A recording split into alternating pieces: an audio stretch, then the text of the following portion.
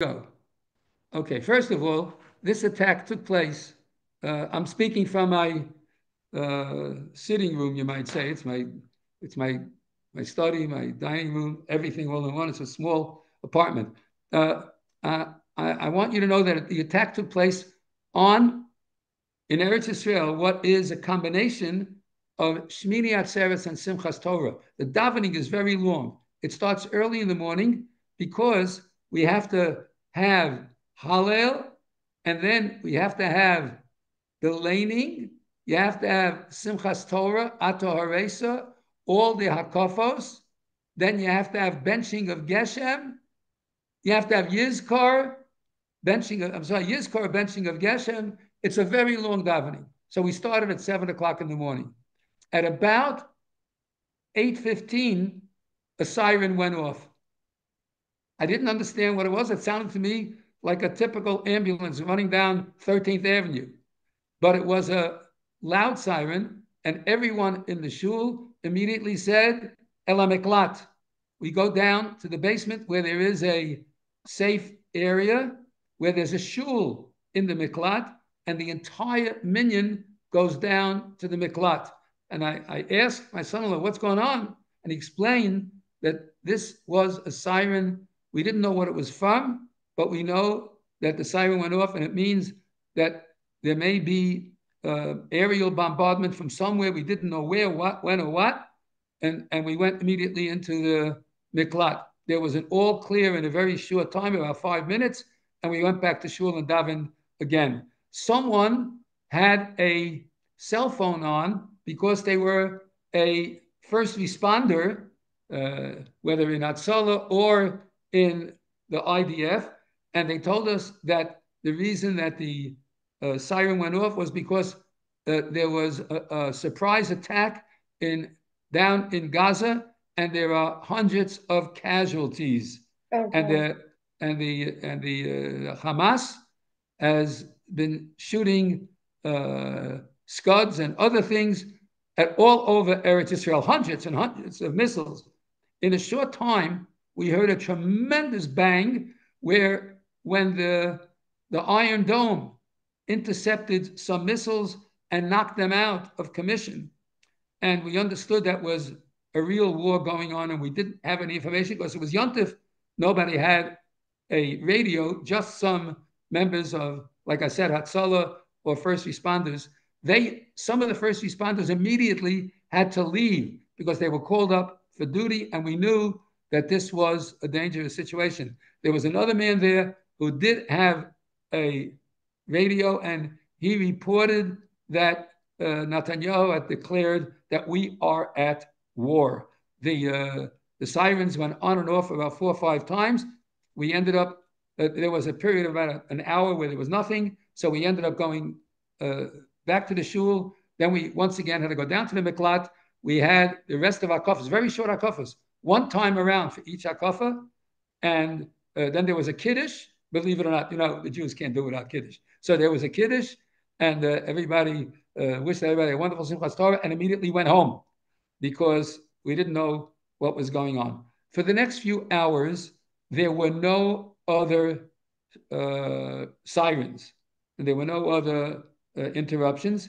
We didn't know what was going on because none of us had a radio but we knew that the situation was dire.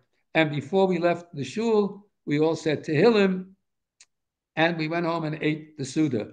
Uh, we came back from Mincha. Uh, Mincha was in the main shul. There were no sirens.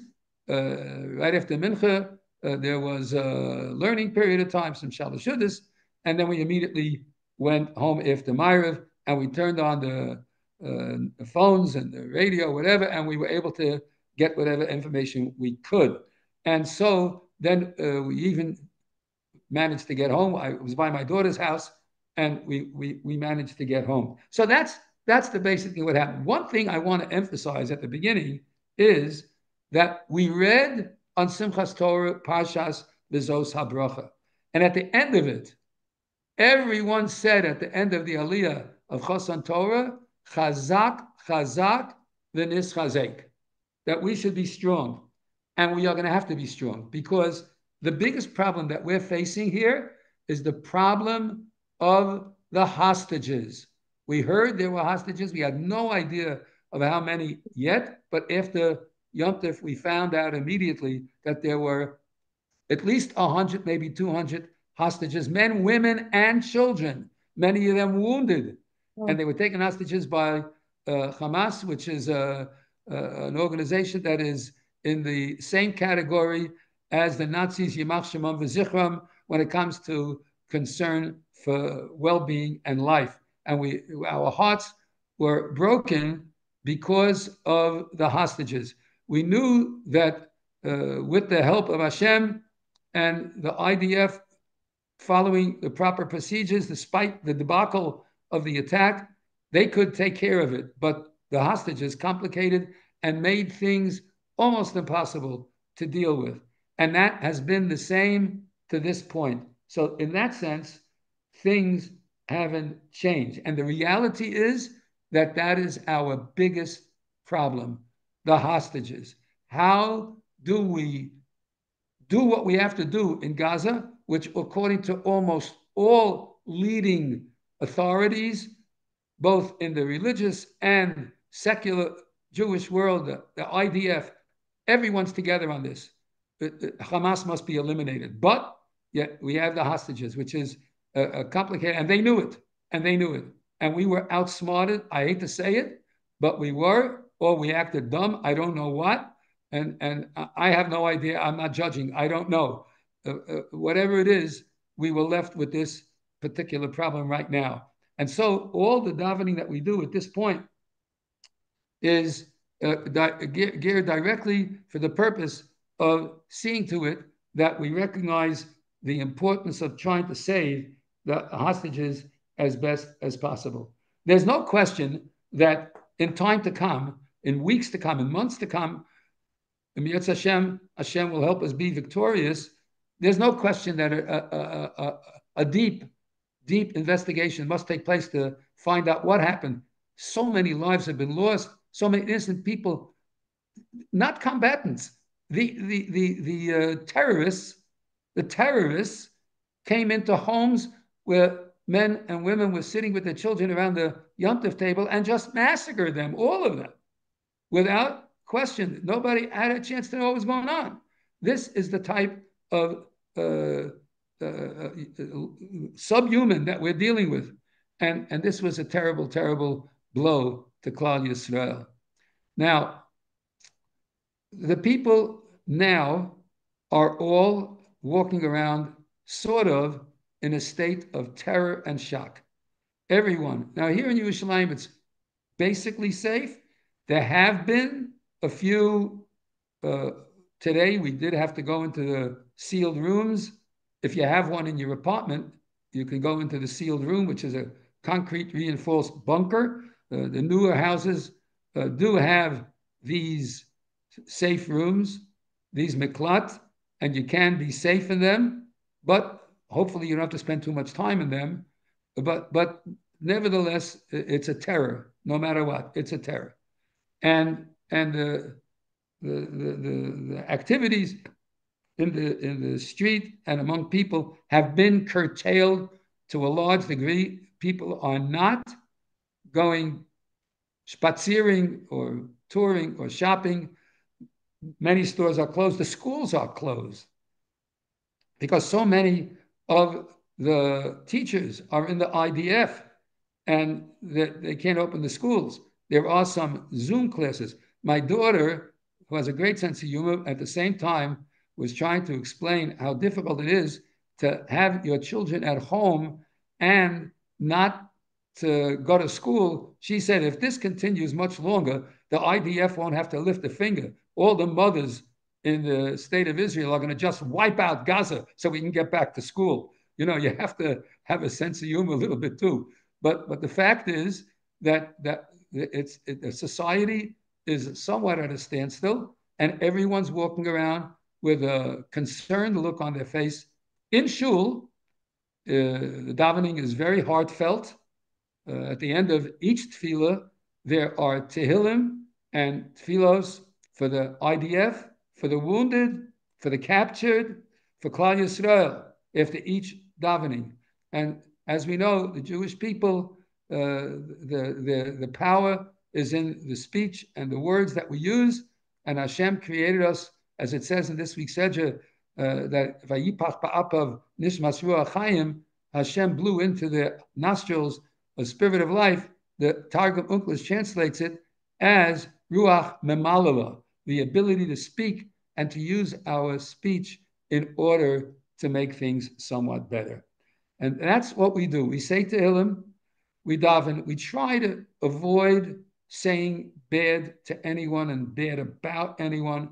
We do everything we can to increase our observance of Hashem's commandments and turn to Him and, and beg Him to lead our leaders in the right path and to give them the wisdom to deal with this terribly, terribly great problem with so many overtones of difficulty and, and how can we be victorious? And we need to be victorious. There is a strong positive spirit amongst the IDF, despite the fact that we've lost so many soldiers, fathers, husbands, young men. There was a there was a video. It's probably viral by now of a young man who on Zoom was actually making a bracha over the bris of his son back home while he was in the IDF going to fight for Klal Yisrael. The bris was on the Zoom, and he was making the brachas on the Zoom. So this is Klal Yisrael. We have this unbelievable power when we get together and when we're united. Uh, to all my my dear dear mispalalim and friends, members, all from the Young Israel Beth El Borough Park, my heart is with you.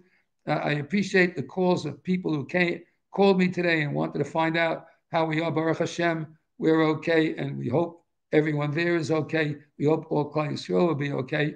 Uh, but it is a very difficult time, and I urge every Jew who can to become maybe just infinitesimally better, just a little bit, one extra kapitel Tehillim a day, one extra learning session, one extra kavanah in davening, one kindness to another Jew, one helpful action to help Klal Yisrael become united.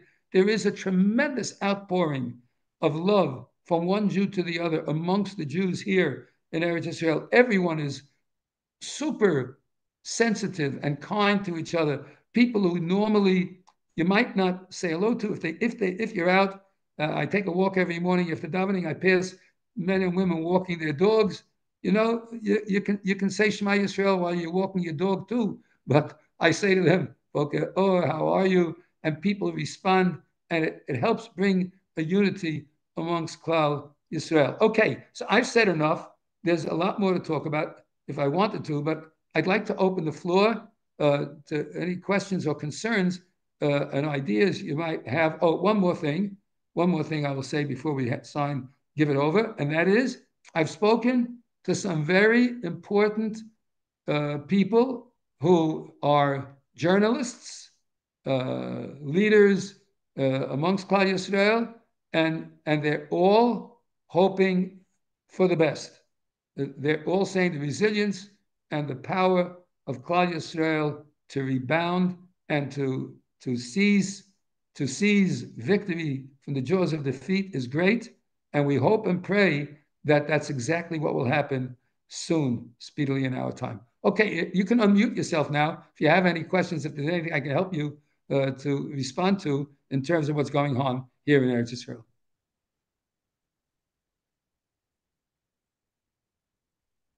You can unmute in order to speak.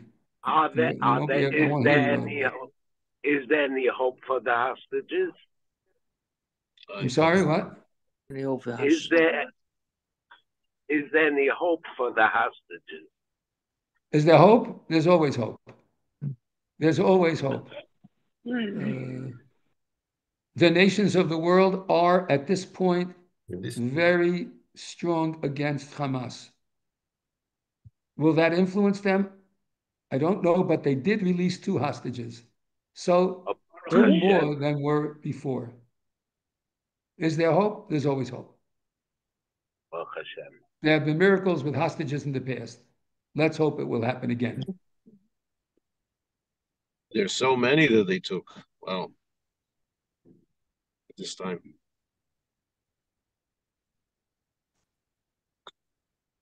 Excuse me, can I ask a question? Was there any announcement about the prospects of a unity government?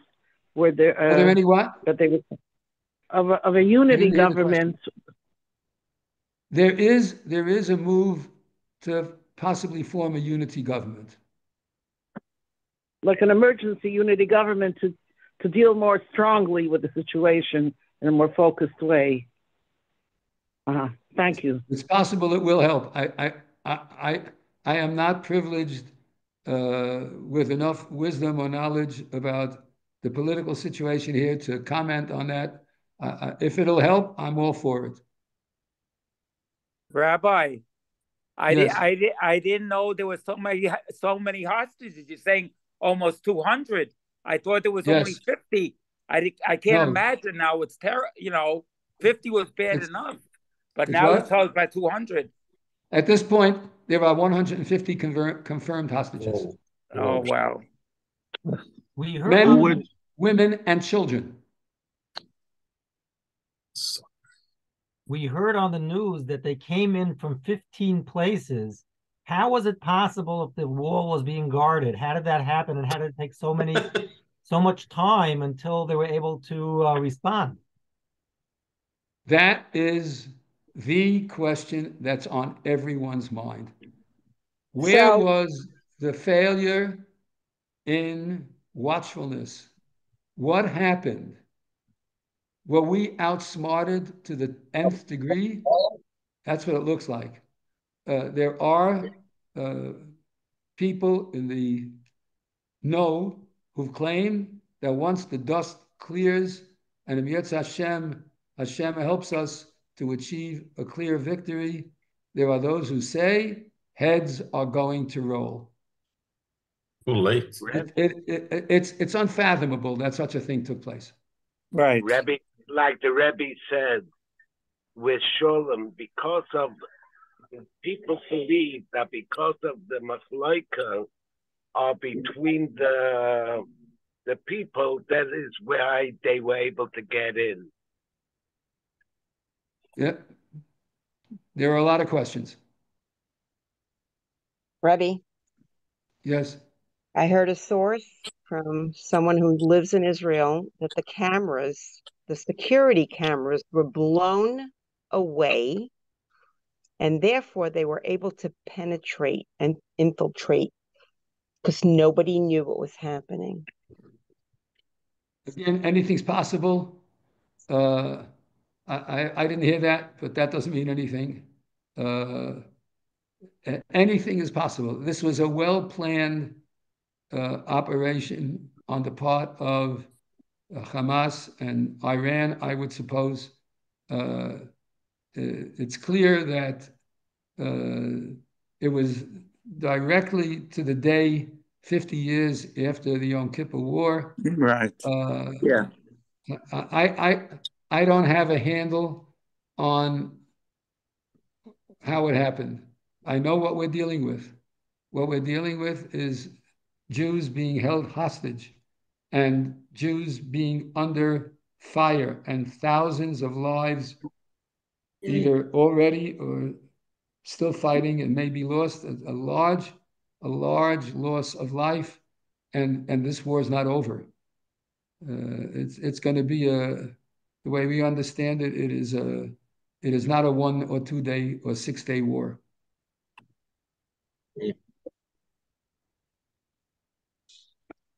And we need all Jews all over the world to to take a step back and say, what can I do to make the world a better place? What can I do as a Jew to make me a better Jew and therefore make the world a better place? And, and that will help. Uh, we have seen the Jewish people uh, have miracles happen to them in our own lifetimes. The very, the very fact that I am here and speaking to you, the very fact that there is an Israel, the very fact that a hundred years ago, 100 years ago, there was no IDF. There was no state of Israel. There was no home for the Jewish people. 200 years ago, there wasn't even a dream in the minds of the most ardent Jews that one day we would be in our own homeland fighting for our right to live here. The miracles that have taken place over these last 250, 200 years, 100, even, even 50 years are unprecedented in annals of Jewish history. The, the large segment of Jews that are good, wonderful people living here in Eretz Israel, even those who are not overly, overtly or overly religious, there's a certain camaraderie amongst all Jews.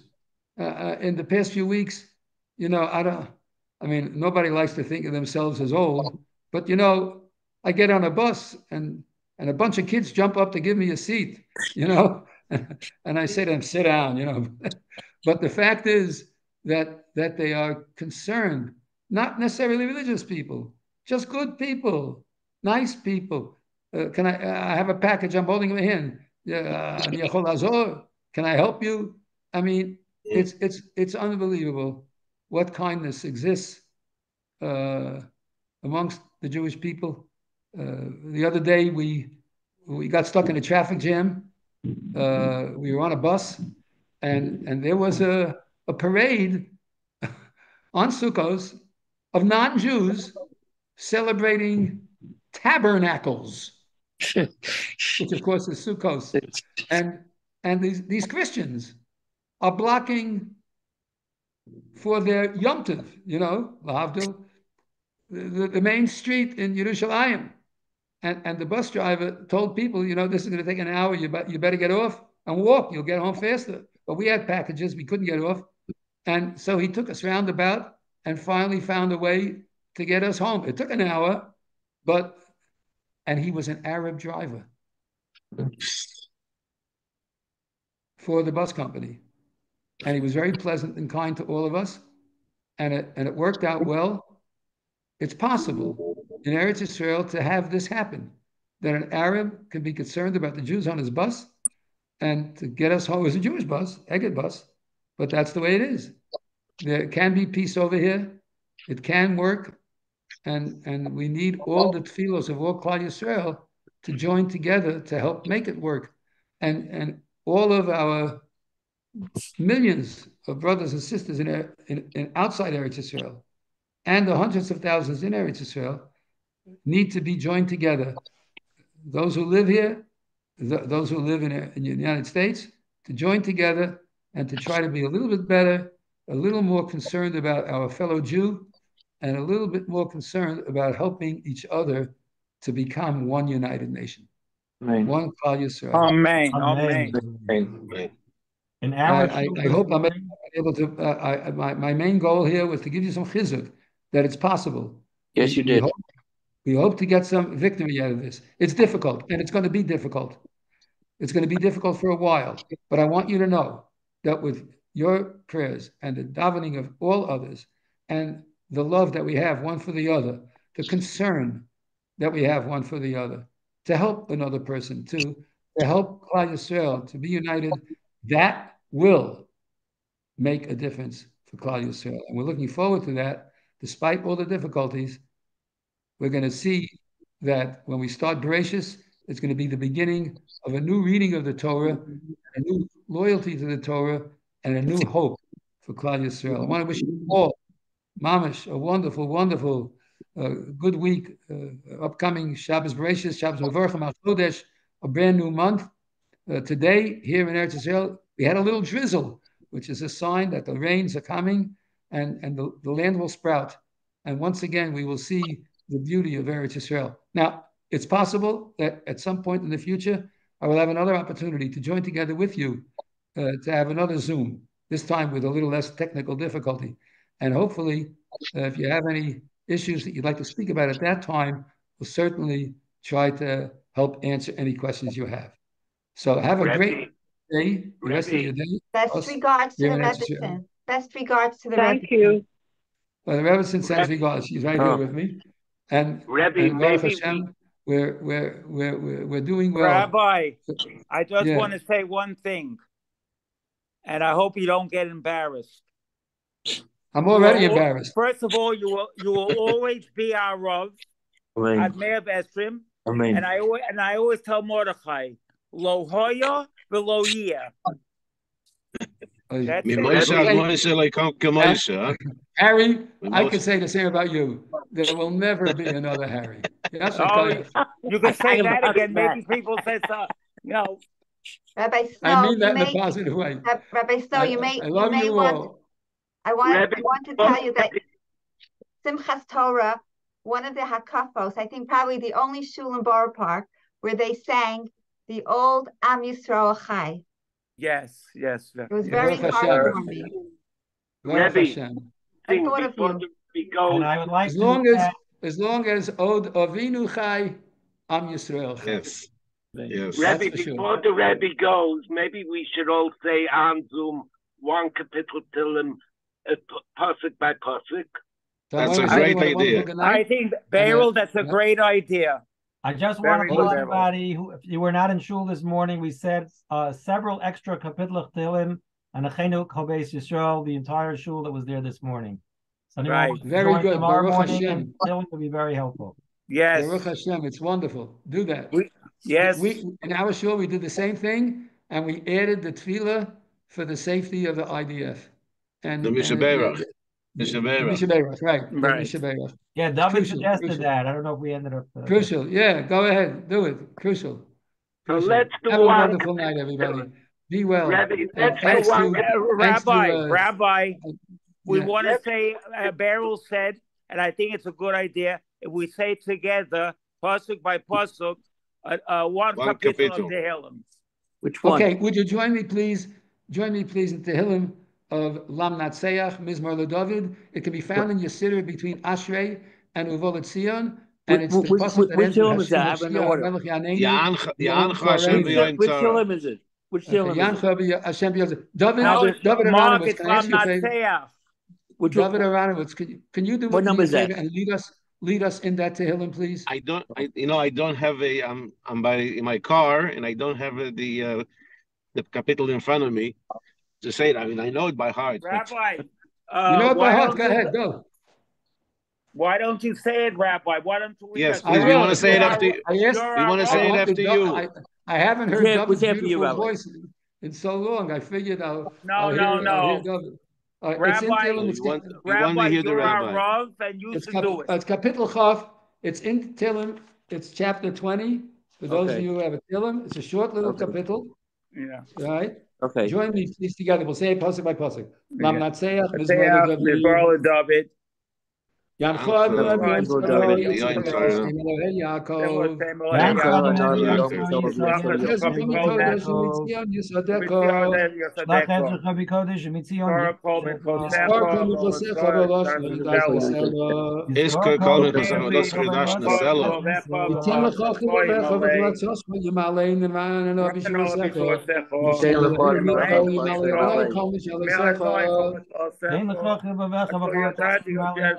Yam Yisadeko. Shlach Ezra Bikodesh, Mitzion, Yisrael Kol Michosecha V'Losh, V'Das V'Selo. Iska kol michosech v'das chidash neselo. Yitzim Lechoch V'Lecha V'Tzoch V'Yimalei Neman and Obi Shirosecha. Yishem Elohei Yaakov, Yimalei Eloi Kol Mishalesecha. Ein Lechoch V'Vecha V'Chol Ein Mekar v'nefalo v'nachnu Ato kam yadati, v'nesei. Yoshia Mashiach, Ato yadati v'shem Shemshon Mishmei Kodsha. Nazkir. Eila Berecha Ve'ela V'Asusa V'Nachnu V'Shem Adonai Eloheinu Ema Kodim Nefolo V'Nachnu Kamna V'Nesodot. Ein Mekar v'nefalo v'nachnu kam v'nesoida. Adonai Yoshio HaMelech Yanei Yom Karenu. Adonai Adonai Yoshio Yoshio, melech yaneinu v'yom I just want to comment on one pasuk we just read. It says that Eile Barecha Ve'ele Basusim V'Anachnu B'Shem Hashem Kenu Nazkir. There are those who have uh, chariots and those who have horses, but we call out in the name of Hashem.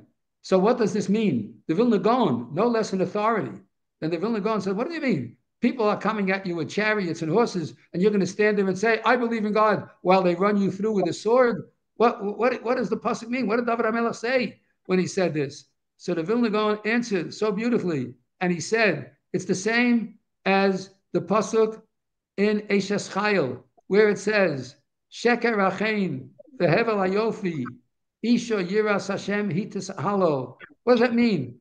Sheker Achein, favor is false, beauty is nothing. Is that so? It's not so. So the Vilna Gaon explain both psukim the same way. If all you've got is favor and beauty, that's sheker. It's all false, right? Isha yiras Hashem. But if she's got chen and she's beautiful and she fears Hashem, he halal, she deserves praise. The same thing goes here. There are those who believe in chariots. The ele basusim, and there are those who put their trust in horses. Va'anachnu, and we do also. We need missiles. We need air force. We need chariots. We need guns. We need power. But we don't stop there. Va'anachnu, and we, B'Shem Hashem Lakein and Azgir, we call out in the name of Hashem with the guns and with the missiles and with the power, because the missiles and the guns and the power themselves are nothing without our calling out in the name of Hashem. In 1948, we didn't have guns. We had to use pitching machines to throw mortars at the Arabs. There's a Davidka right in the center of Yerushalayim Kodesh. A Davidka is nothing more than a modified pitching machine that they used to use to test batters in throwing back a, a speedball. So it has an arm and it throws, and they put mortars in there to throw at the Arabs. And that's how they won the 48 War of Independence. They had the same orders we have. So that's what we need to do. Let's say our Tehillim. Let's put our faith in Hashem. Achinu Kobesh Yisrael and Asunu Batzara Shivya, Haonim Emeyom Vem Bayabosha, Ramotam Yachim Alayim, Yotziem Mitzola Levochem Nefel Olim Yisrael, Ashto Bagola Marim and Omar. Amen. Amen. Great night. We'll get together at sometime in the future, maybe later this week. Uh, I'll certainly send out a video before Shabbos and Yetz Hashem, and I hope that maybe we'll have another Zoom next week as the war begins to unfold and we see more. And if I have any more information, I'd be happy to share it with my beloved friends at the Young Israel Beth El Borough Park. So have a very good night, everybody. Rabbi Yasher Koach. Thank you. And Rabbi and the rabbis and stay safe. Stay safe. Yeshua Hashem. Everybody. Have a good night. Bye-bye. Thank you very much.